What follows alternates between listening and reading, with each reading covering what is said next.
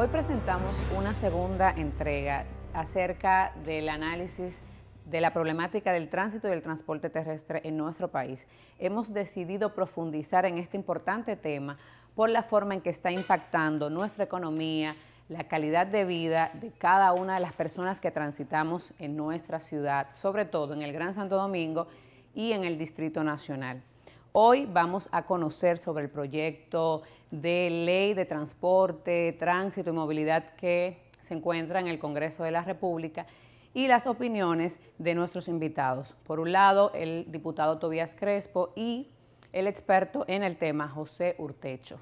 Recordarles que es una problemática que nos está restando calidad de vida y que no podemos dejar todo en manos de las autoridades. Todos nosotros, usted y yo, tenemos la responsabilidad de aportar a las mejoras de este problema. ¿Cómo lo hacemos?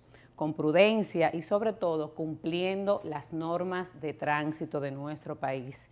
También la empresa privada, las autoridades tienen grandes responsabilidades en el tema. Ojalá que se sigan sumando otras empresas. Sabemos que de parte de las compañías aseguradoras se han presentado grandes iniciativas con relación a este tema, pero hace falta, hace falta poner un poquito más, hace falta empujar y que todos nos sumemos por esta importante causa. De seguro que si lo logramos tendremos más calidad de vida y una ciudad más organizada.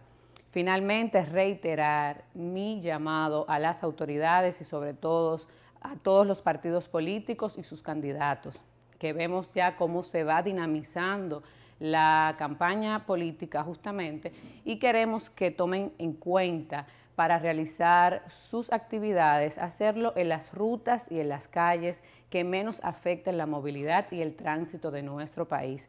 Se lo vamos a agradecer todo y sobre todo las personas que lo siguen, los votantes y la población en general. Es necesario que este proyecto, que este proceso electoral concluya de una forma diáfana, en paz, armonizada y sobre todo que se garantice la tranquilidad del pueblo dominicano.